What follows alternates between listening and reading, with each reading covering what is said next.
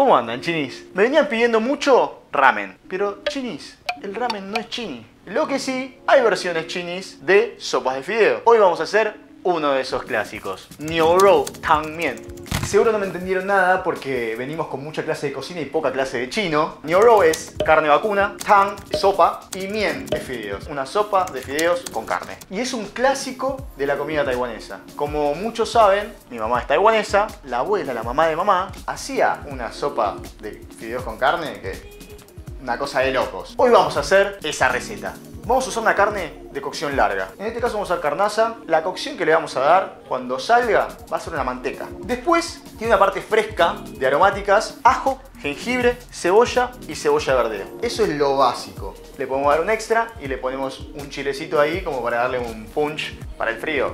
Está bueno. Después tiene una parte seca, que va a ser laurel chino. Pueden poner laurel. Es más o menos lo mismo, pero el, el secado y la fermentación y demás cosas son distintas. Anís estrellado y esta maravilla de la ingeniería china, que es la pimienta Sichuan, que no es una pimienta, pero parece una pimienta hueca, ¿sí? medio abiertita y tiene un gusto así medio anisado, medio alimonado y es uno de los clásicos que veníamos usando para todos los platos de Sichuan. Vamos a usar pasta de chiles y habas, también un clásico de Sichuan y Li Kung tiene una bomba de pasta de chiles y habas, salsa de soja, premium siempre, una buena, también de kunki. Pueden hacerlo solamente con salsa de soja, pero agréguenle un poquito de salsa de ostra. Extra de umami. La explicación de umami no sé si la dimos alguna vez. No la dimos nunca. Cada parte de, eh, de la lengua activa un sabor distinto. ¿sí? Cuando activamos el, el umami, el centro, activamos más, eh, más la lengua, más las pupilas, sentimos más sabor, más explosión, como que te pasan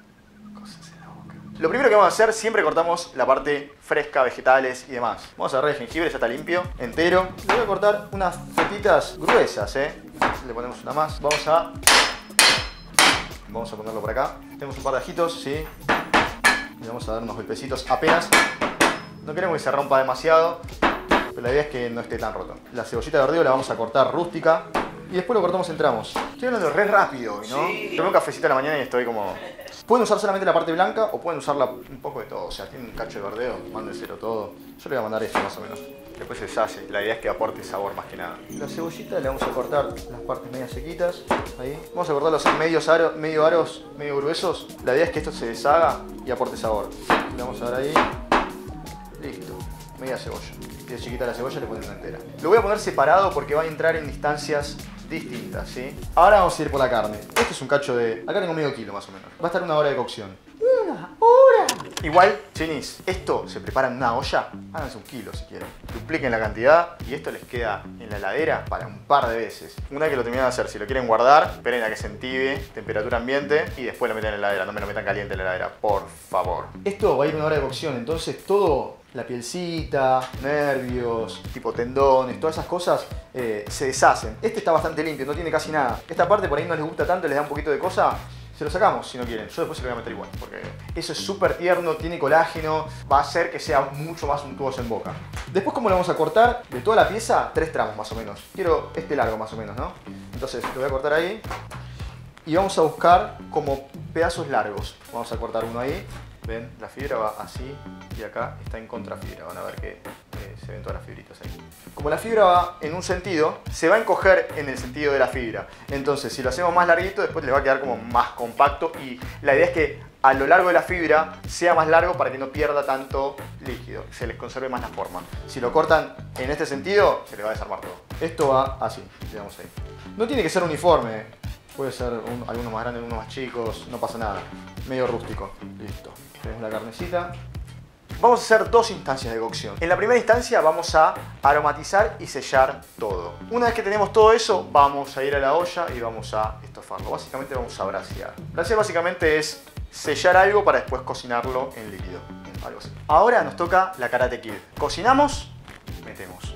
Cocinamos, Parece mucho, en realidad no es tanto el proceso, vieron que cortamos en dos segundos, son muchos ingredientes, pero lo hacen una vez, hacen una buena cantidad y comen toda la semana. Bueno, lo primero que vamos a cocinar, jengibre, ajo y cebolla. Uno trae el otro, pero vamos a meterlos en tiempos distintos porque algunos se bancan más las temperaturas que otros. El que más se banca la temperatura es el jengibre. El jengibre no se quema tan fácil, así que lo vamos a meter primero.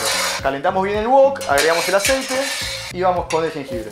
Pueden bajar un poquito el fuego porque lo que queremos es despertar los sabores de todos estos ingredientes. Van a ver que van a empezar a ver el cambio de, de color y van a empezar a sentir los aromas. Una vez que está, como es muy poquito esto, le vamos a mandar el ajo. El ajo entero se la banca más. El ajo cortado en pedacitos chiquitos no se la banca tanto. Cuando se dore un poquito el ajo y se huela el aroma, ya vamos a ir a la cebollita de verdeo. ¿Vieron el colorcito? Mirá, mira Clau. ¿Ves el colorcito ese? Ese es el que queremos. Y ahí vamos con el verdeo. Tuki. Ya huele. Ya huele rico, ¿no? Ahora vamos a hacer lo mismo con el verdeo. Una vez que cambie un poquito el color del verdeo, como dijimos, salteamos, metemos. A la cebollita le quiero dar el tiempo que se merece, así que lo hago aparte. Con el mismo aceite, ¿eh? no hace falta ponerle mucho más. Vamos a dejar bien doraditos los, los aritos. Nada de condimentar en esta instancia. No quiero que todos estos ingredientes pierdan el agua, pierdan el líquido, pierdan los jugos. Vamos a salar todo esto. Más o menos cuando está brillante, doradita. Vamos, va queriendo, ¿no? Ahora sí, vamos a lo importante. El sellado de la carne. Bañamos bien el wok y vamos con la carne.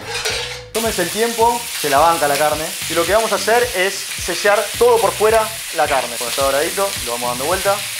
Esto va a hacer que primero tome ese toque, ese toque doradito hermoso que tiene la carne, que le cambia mucho el sabor porque se carameliza. Y además, al hacer un buen sellado, vamos a impedir que los jugos los pierda. Vamos a tener una carne muchísimo más sabrosa en la cocción final. Algunos me preguntarán, ¿no lo puedo meter directamente la carne? No, no la metas directamente porque no es lo mismo. Va a perder la forma, va a perder los líquidos, se va a romper más. Acá se va a mantener mucho más entera, firme. Una vez que más o menos tengo casi todo alrededor, vamos a espátula para terminar de sellar del todo. Entonces lo movemos bien, un poquito más de tiempo, un poquito menos de tiempo, no pasa nada. Mientras esté bien doradito, la cocción total va a ser súper larga. Que lo cocines dos minutos más, no pasa nada. Una vez que estamos, a la olla.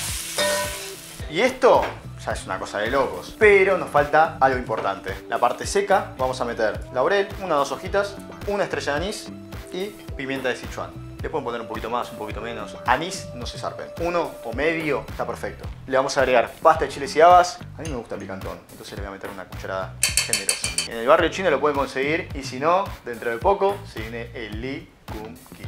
Se está demorando un poquito el tema del Kum Kit porque queríamos hacerlo very special. Nada, hay un par de cositas que estamos armando. Yo calculo que en dos semanitas lo tenemos, claro, ¿no? Sí, más o menos. vamos.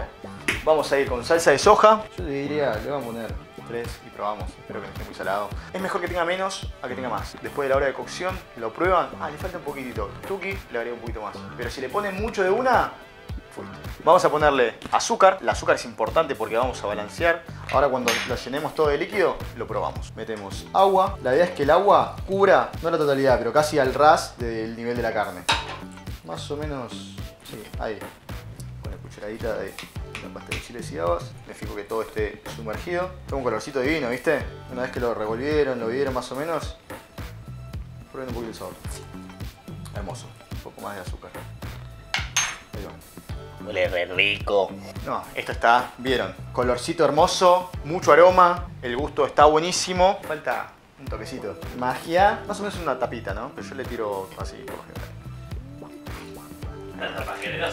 no, más o menos. No importa. Esto lo que le va a dar es perfume. Como tiene aromáticas y demás, va a levantar un montón el sabor. Una vez que estamos, ¿qué hacemos? Al fuego. Vamos a darle a fuego máximo hasta que rompa hervor. Una vez que rompa hervor, al mínimo, fuego corona por toda la hora. Si le dan fuerte mucho tiempo, se le va a secar antes de que se le termine de cocinar. No quieren eso. Se van a quedar así hasta que rompa hervor. Ya rompió hervor, lo vamos a tapar y le vamos a bajar el fuego al mínimo. Y tapadito, esperamos por una hora.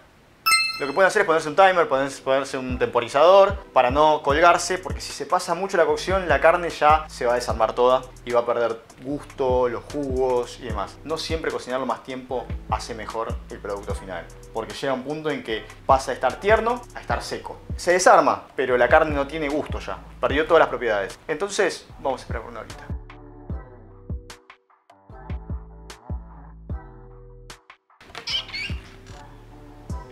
Mientras tanto, contamos sésamos. Este es el burbujeo que quieren. Bien lento, pero tiene que burbujear. Importante. me olvidé algo muy importante. Después de media hora, me olvidé los chiles. Ya tiene power, pero me gusta darle un toquecín más. Tuki. Va queriendo, ¿eh? Miren el espesor, miren cómo se deshace todo de a poquito. Especial. Esa. Ya casi que está, ¿eh? Bueno, nos faltan 10 minutos. Aprovechamos el tiempo y mientras se va haciendo esto, vamos a hacer Pak Choi. Es una acelga china, básicamente. Pueden usar este vegetal o pueden usar otro. Si tienen acelga nada más o tienen espinaca, quieren usar espinaca, queda muy bien también. Este es el clásico.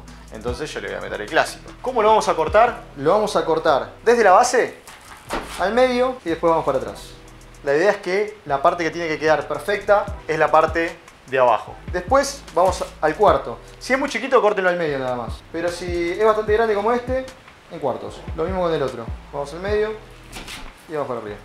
La idea es que le pongan uno o dos por porción. Vamos a enjuagarlo un poquito y lo vamos a blanquear. Pero antes de blanquear los vegetales, vamos a hacer los fideos. Porque no queremos que estén mucho tiempo ahí. Ya una vez que se cocieron, van a empezar a largar líquidos, se van a chicharrar, se van a oxidar. Entonces lo primero que vamos a hacer es hacer los fideos. Voy a usar estos fideos, que ya los usamos en varios capítulos, si no viste el del chaumien. Eh, miralo, que está buenísima la receta. Y estos fideos se usan para salteados, para huimien, que tenemos pendiente todavía un huimien, tenemos que hacerlo.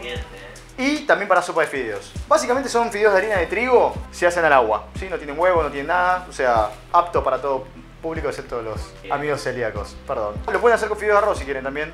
Queda buenísimo. Con el agüita lista, haremos los fideos.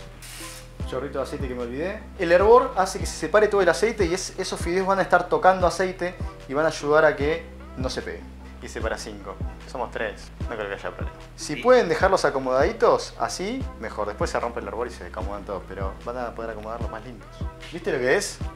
Lo pedís, Lo pedís, lo lo tenés. tenés. Se ven facheros, ¿no? O sea, son fideos, no se pueden ver tan facheros. Porque son chinis, los chinis queremos ser facha.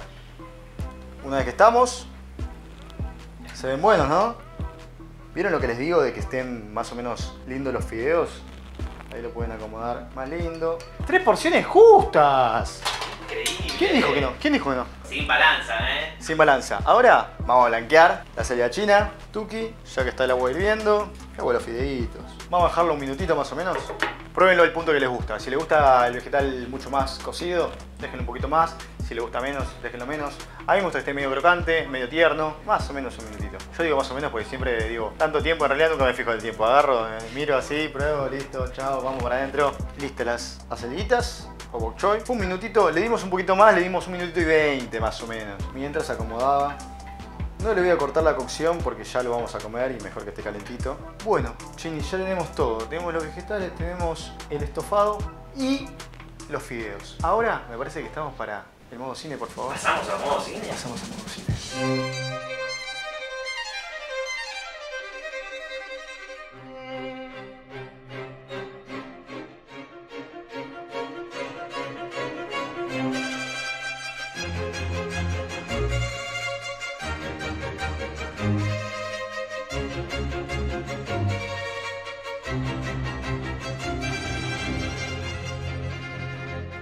Bueno, chinis, capitulón, platazo, me hace recordar a los platos de la abuela. El que me pidió ramen, muchísimas gracias. La verdad que me hicieron acordar este plato que es una bomba. Estamos muertos de hambre, los chicos quieren comer. Nada, comentame, tiki tiki y, todo eso. Eh, vamos a comer. Vení, vení, vení. Clau, Ari, dale, vamos. Vamos a entrarle, vamos a entrarle. Mezclalo bien que. Ponle más salsita. Ponle más salsita. Vamos a darle más salsita.